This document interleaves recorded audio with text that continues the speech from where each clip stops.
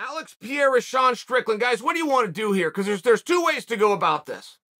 You want to do what's right. You want to be a sportsman. You want to do what's right. Okay, it's going to look something like this. Guys, Sean Strickland versus Pereira. Pereira is awesome. Wow. What speed, what power, what timing. He's the true number one contender. Turn the cameras off and go home. That's the right way to do this. But there is another side, which isn't the story of Alex Pereira, it's the story of the fight, and that's a different story. Look, there was one thing tonight that Sean Strickland had to do. Now, let me have a little bit of a come clean session for the two of you that follow us, okay? I need to show a level of honor, which is my lack of respect for a championship in the sport of kickboxing needs to change. That guy is real. Let me start with that. But the other side, and there is a but, when I'm telling you all the things that Sean can do, when I'm telling you that Sean can go with them, when I'm telling you that, that there's no level of kickboxing versus the MMA and experience level of Sean Strickland, right? I'm betting and counting on one thing the threat of a takedown. Pereira had a fight in the UFC. Who did he fight? What was that turkey's name? Was it Santos? Very good fight. Was it Santos, though? Pereira got hit a lot.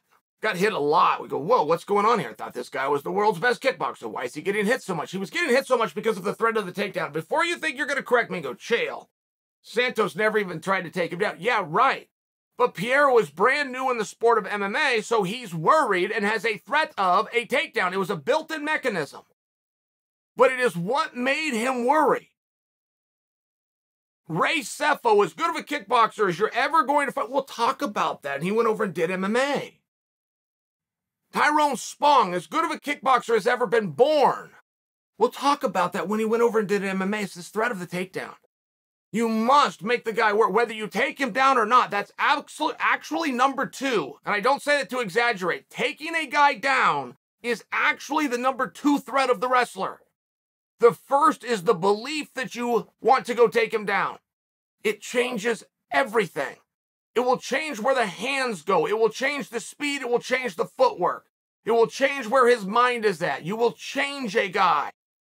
We will see world champion kickboxers come over in MMA and be knocked out in the first round. We've seen it a number of times by non strikers. But the one thing that was prevalent was the threat of the takedown. Sean didn't threaten it tonight. I don't want to be hard on Sean. I want to be the opposite, which is hey, don't hang your head. That combo would have put down anybody. You were in a bad spot, but you didn't need to be there. And he did not come out fluent and relaxed in kickboxing at first. He came out to look around what's going on, and you convinced him that he had nothing to worry about except kicks and boxing. It's wildly important that you understand that. That fight, and I actually trust that Sean was going to get around to it. It was a pretty quick fight. I don't think Sean was planning to go all night and just punch and kick and walk the guy down. I don't think. But I also don't have evidence and proof that he didn't. It's very relevant. Sean's got to add that. He just does. Just does. And I'm bringing this to your attention because there's no reason to not start right now. It started tonight. And I'm talking about Pereira versus Adesanya. And when I'm talking about the threat of the takedown or the lack thereof, there will be no threat of a takedown for Pereira when he takes on Adesanya. It's an interesting match. I am not the best to speak on. Now that's going to surprise you. I know I'm all of your favorites. But I would not be the best to speak on two pure kickboxers who are rematching. For a third time. They're rematching two kickboxing matches, but they're doing an MMA. Neither one has ever gone for a takedown, ever. Neither one has ever gotten a takedown. And I should say that in reverse order. Not only has neither one gotten a take, neither one has ever looked for a takedown. So you have a fight that has no threat. And a number of people are trying to make a very big deal about the four ounce gloves. I think those people sound like fools, but I need to listen, and I hope we hear from the Tyrone Spongs, the Ray Sefos, and the Henri Hoofts. I hope the coach Roufuses, both of the boys, speak up on this. I hope Maurice Smith comes back. Guys, we've never seen this. For a kickboxer to make it to a main event is very rare. One thing we proved in 1993 is those boys don't fare near as well as the grappling arts. That's true. But not always. And now it's happened times two. This has never been done. This has never been done. My sport's seen it. The sport of wrestling. We have had two wrestling stuff and go fight for championship. Sure, we have. Name a bunch of them at the top of my head. Randleman versus Couture. Coleman versus Couture. I could play this game. I'm stopping right. I'm sharing that. That's very common that we, we do very well. To get two kickboxers at the same time, the same weight class, who, by the way, made it to the absolute top. No, that hasn't happened before. It's an interesting match. And what to make of, well, I could break those grappling ones down for you all day long. Get a jiu-jitsu guy versus a wrestler. You slip a judo guy in there. You do any way you want to do it in grappling. I'll know 10 examples to give you guys. I don't have one, but you don't have one to give me either. This has not happened before. Kickboxing has not fared very well. That's true. It's not without exception. Maurice Smith showed us that's not without exception. But not only is it not fared very well, they're now going to fare well at the same time against each other.